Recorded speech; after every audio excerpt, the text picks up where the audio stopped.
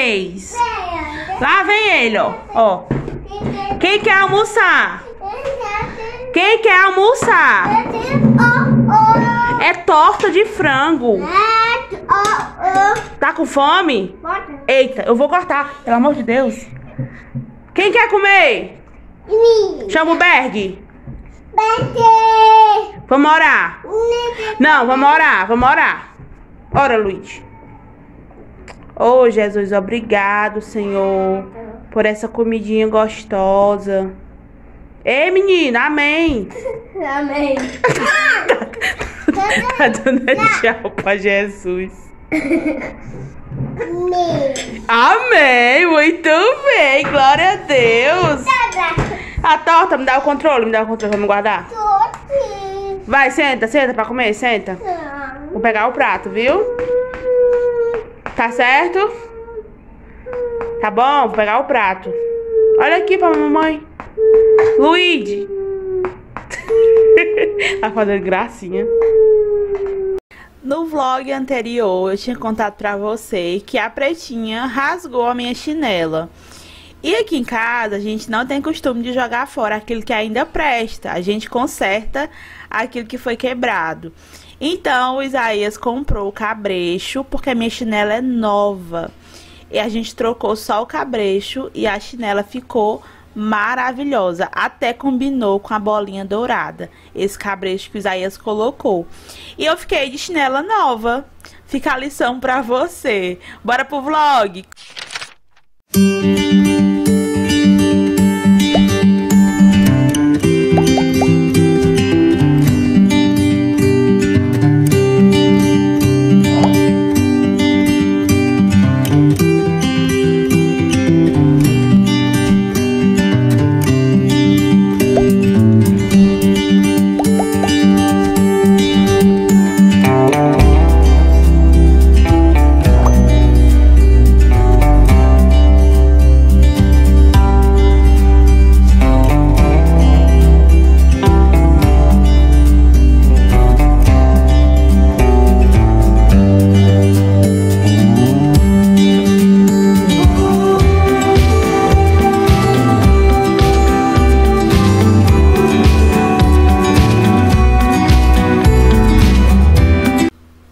Decidi fazer no almoço uma coisa bem rapidinha. Cortei só as linguiças e fiquei pensando. O Luigi ama linguiça.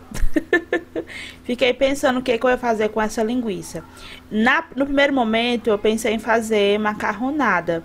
Mas aí, do meu por fim, eu lembrei que eu tinha brócolis na geladeira. Peguei o brócolis e vou te mostrar o que, que eu vou fazer. Juntei a linguiça junto com o brócolis que eu tinha congelado e resolvi fazer só isso mesmo. Misturei os dois, já tava com o fogo ligado aí. Aí eu lembrei que eu tinha creme de leite. Esse almoço é daqueles que você faz com o que tem na geladeira. Coloquei o creme de leite já no finalzinho, só para dar aquele gostinho cremoso. E coloquei também.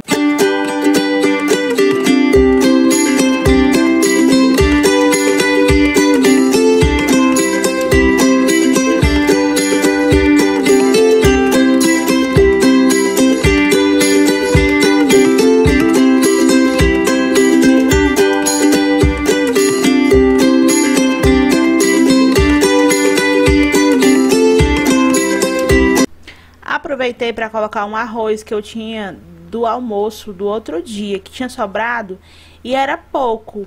Aí quando eu misturei com essa misturinha, olha só, quando eu misturei, quando eu misturei com o brócolis e a linguiça, rendeu mais. E a gente almoçou isso, ficou uma delícia, ficou assim um arrozinho bem cremoso. Não era a primeira ideia, mas foi a última ideia que deu certo. E o almoço ficou pronto desse jeito.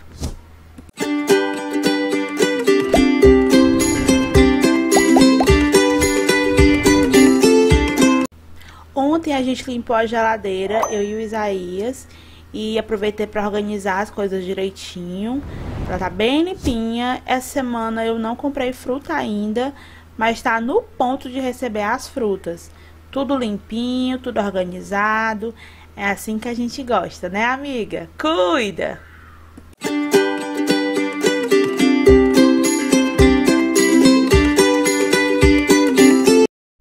Vou fazer tortinha pra janta. Esse dia eu só fiz lavar roupa, que os meninos já estenderam. Então, ali tem mais, ó. Mas a casa está limpa, graças a Deus. Hoje é terça ou é segunda? Hoje é segunda. Ah, ontem a gente fez faxina na casa. Por isso que não tá bagunçada. Fiz só manter. Vou fazer tortinha aqui nesse vlog com você. Que eu coloquei duas xícaras de farinha de trigo. Eu coloco cinco colheres de manteiga e eu só tenho um ovo. Tá até aqui, ó. Então vou usar esse ovo. Aí vou mexer tudo e vai virar a massa que dá para fazer tanto empada doce quanto salgada e também dá para fazer torta de frango. É uma massa bem, bem, como é que eu posso dizer? Uma massa bem prática. Eu vou fazer aqui e te mostro já. Olha só, é só isso. Aí eu vou mexer até dar o ponto. Amiga, eu estou muito alegrada. Eu estou aqui de frente pro computador. Ah! Estou aqui resolvendo um negócio do, do meu salário. Está chegando a minha cama nova. Amiga, eu vou já sentar para conversar contigo. Eu tô terminando aqui eu queria gravar um pouquinho. Estou muito alegrada. Muito obrigada por assistir os vlogs. Muito obrigada por deixar teu joinha. Muito obrigada por compartilhar os nossos vídeos. A gente tá bem perto de realizar um grande sonho que é comprar nossa cama. Deus sabe o quanto a gente tem sonhado com isso, quanto a gente tem orado por isso, quanto a gente tem guardado um pouquinho e agora vamos juntar e comprar nossa cama. Calma. Deixa eu terminar aqui, depois eu volto. Tô fazendo nosso almocinho de hoje, ó. Tem arroz, o frango eu empanei, ó. Eu pego o frango, eu tô sem ovo aqui em casa. Aí eu pego o frango, tempero e coloco na farinha de trigo e depois levo pro óleo. Coloquei uns pedacinhos de cebola, fica uma delícia. O cheirinho da cebola é maravilhoso. Assim que eu terminar a gente almoçar, eu venho pra finalizar esse vlog e contar pra você a novidade. Se você segue o Instagram, você já sabe a novidade. Mas eu volto já. Apareci pra finalizar o vlog. Eu tô meio baixa, eu tô aqui na cama e o celular tá na janela. Então, é, eu comecei esse vlog, eu acho que eu, eu, eu vou narrar, né? Então você deve ter ouvido aí eu narrando o vlog, porque eu não tinha feito é, nenhum vídeo. E queria compartilhar com você algumas horas do nosso dia, né? Eu passo a maioria, a maioria, a maior parte do tempo na cozinha. Eu fico fazendo alguma coisa, fazendo outra.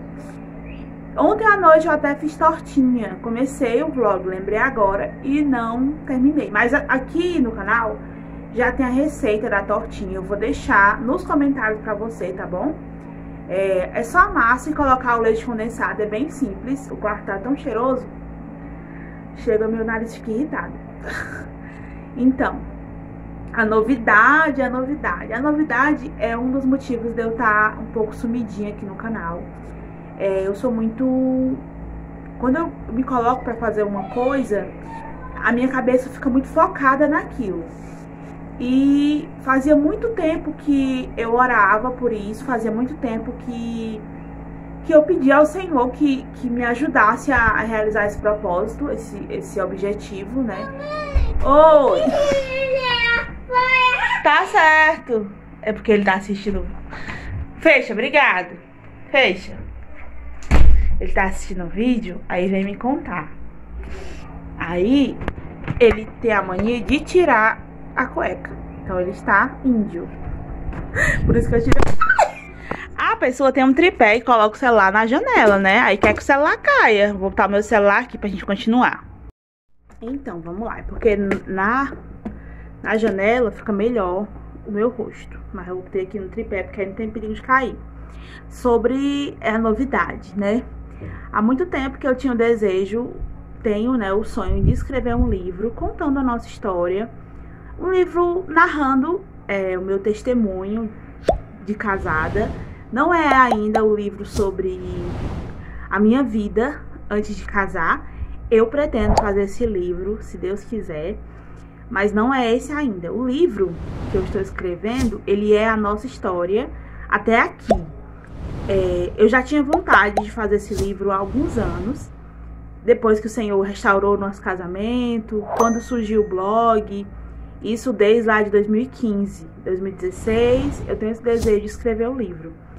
E agora, depois que nós superamos é, tantas coisas, depois que nós perdemos, é, aprendemos sobre perder, e o Senhor tem restaurado a nossa vida financeira, né? Posso dizer assim, porque o nosso casamento ele foi restaurado lá no início. Eu estou contando isso no nosso livro. E assim, algum tempo atrás, na verdade, a nossa vida financeira ela nunca foi estável. É, o meu esposo ele quando a gente casou, ele não tinha profissão, ele trabalhava no Bonielli, ele fazia os mandados da dona da loja. E depois ele trabalhou na Casa Pio, até o momento que ele chegou na loja de instrumento musical, que foi quando a nossa vida começou a melhorar. Porque lá ele ganhava um salário bom, e com o tempo ele, ele passou vários anos nessa loja, foi para outras lojas no mesmo segmento eu tô contando tudo isso no livro, tô só resumindo pra você, é, assim, fazendo um geral, né? E quem vê a gente hoje, é, casados há 12 anos, com três filhos, é, superando tantos sufocos, né? É, nós ainda estamos em construção. Né? A gente achava que já tinha é, bastante sabedoria até fazermos uma bobagem gigantesca, né? Que foi sair do nosso apartamento, ir para outro lugar e voltar e ficar sem nada, mas em tudo eu vejo o cuidado de Deus. E assim, a nossa história é uma história comum, né? Somos pessoas comuns, mas eu, eu creio que tem algo que nós temos algo a compartilhar. É uma família que começou do zero, né? Um casal jovem e que não começou da maneira correta, né? No livro você vai entender isso. Nós não começamos da maneira correta, mas o Senhor teve misericórdia, como ele tem misericórdia, né? Tem um versículo que está no livro que diz assim: está na Bíblia esse versículo, né?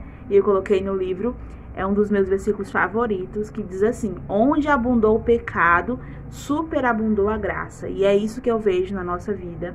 Eu vejo a graça de Deus. E essa graça, ela é livre, ela é liberada para quem quiser recebê-la. Oi. Sujou o pé? Beca, ajuda ele, ajuda. Liga o chuveiro para ele. E essa graça é liberada para quem quiser, não é só para mim. Eu não fui a única privilegiada. Quando Jesus morre na cruz, ele morre na cruz pelos nossos pecados.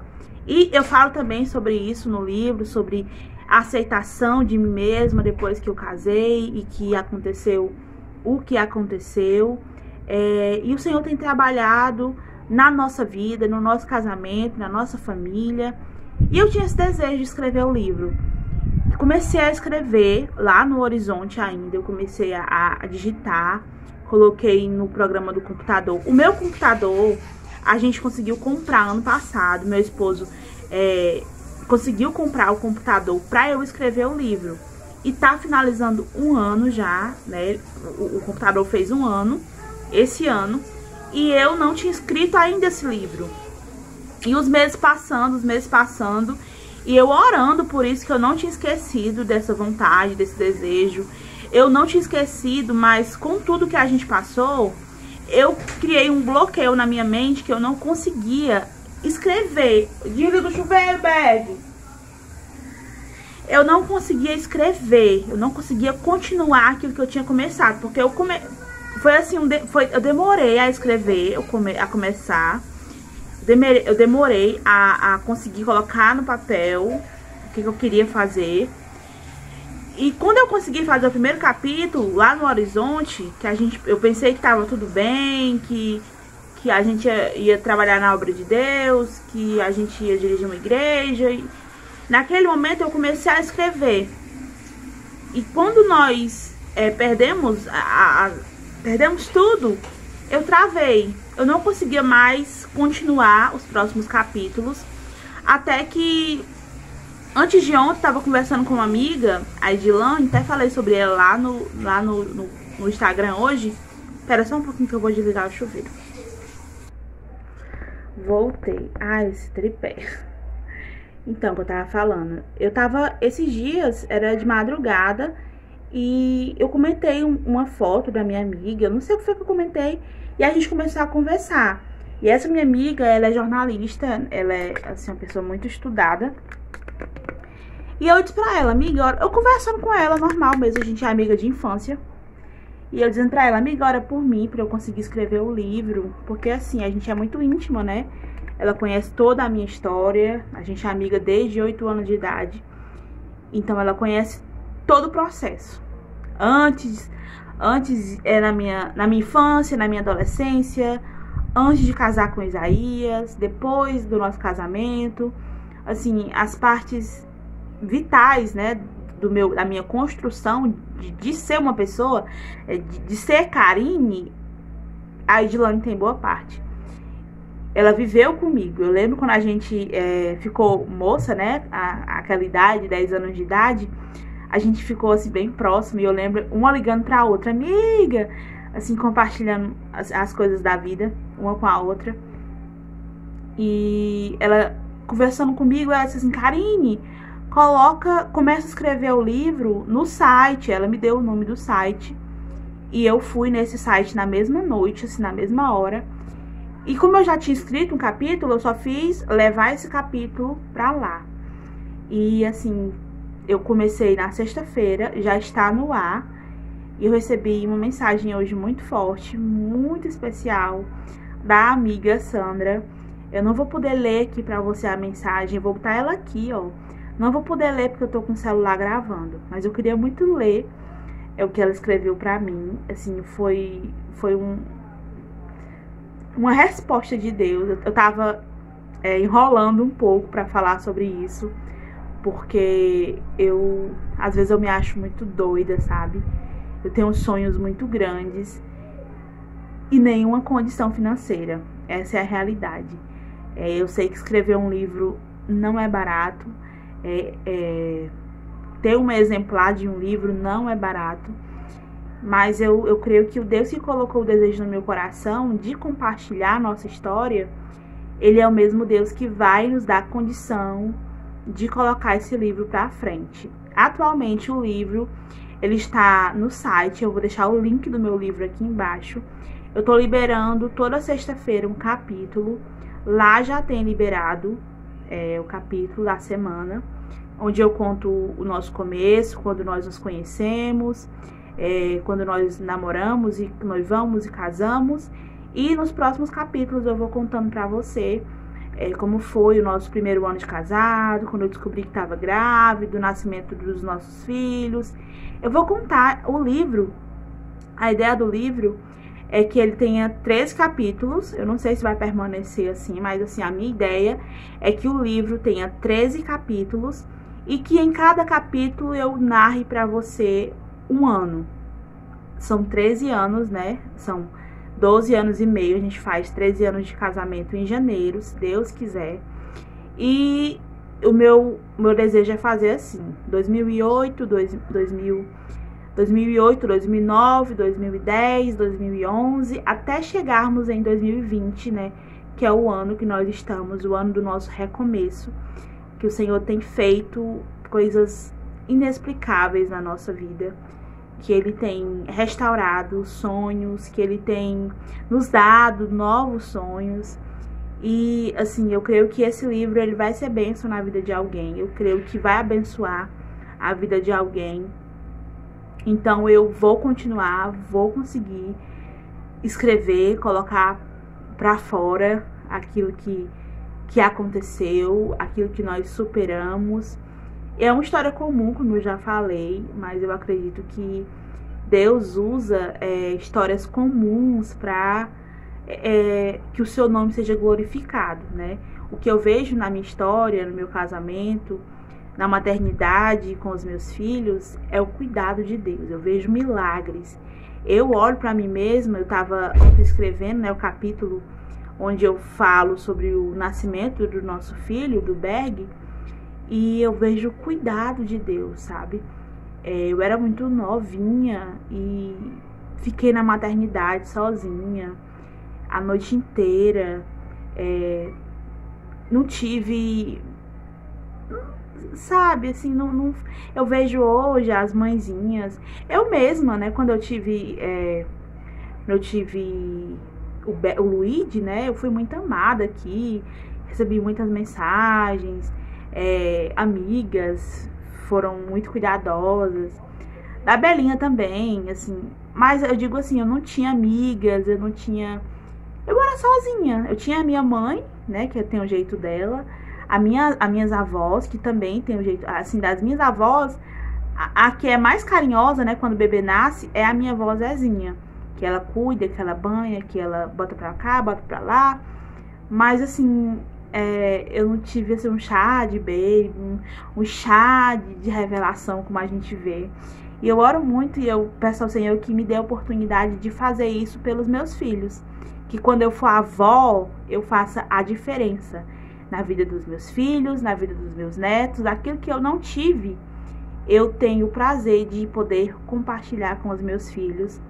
E você vai ver, vai entender um pouquinho sobre isso, sobre a minha história, no livro que eu estou escrevendo. Então, se você quer conhecer um pouco mais da nossa intimidade, daquilo que o Senhor tem feito na nossa vida, eu te convido a seguir o link que está aqui embaixo e lá começar a ler o nosso livro. E se você gosta de nós e gosta da nossa família, eu te peço que ore por nós, ore por esse projeto, porque se for da vontade de Deus, ele vai fazer com que a gente consiga uma editora. Eu não sei como é que vai ser, mas o Senhor sabe. Então é isso que eu queria compartilhar com você, essa grande novidade. Para mim é uma grande novidade, né? Estar escrevendo um livro. É um livro simples, é um livro simples. É, eu escrevo simples, de todo o coração. Eu gosto de compartilhar a história. E você vai ver muitos detalhes. É, os nomes são verdadeiros das pessoas que fazem parte da nossa vida, da nossa história. E se você tem feito parte da minha vida, se você tem sido bênção na minha vida, com certeza o seu nome vai estar escrito em uma página desse livro e com certeza seu nome já está escrito lá no céu. Porque quando a gente é bênção na vida de alguém, Deus ele escreve o nosso nome e nos abençoa, nos recompensa. Nada que a gente faz aqui é por acaso. Em tudo Deus tem um propósito. Se você tem cuidado da minha vida, se você tem sido bênção na vida da minha família de alguma maneira, até o seu joinha é bênção na minha vida. Se eu pudesse, colocaria o nome de todas vocês no meu livro. E creio assim que um dia a gente vai poder fazer uma noite de autógrafos e a gente vai se reunir e eu vou poder colocar o meu nome no seu livro. Olha só que sonho, né? A gente sonha e o papai realiza. Esse foi o nosso vídeo. Deus te abençoe. Abençoe tua casa. A paz do Senhor. Tchau. Cuida.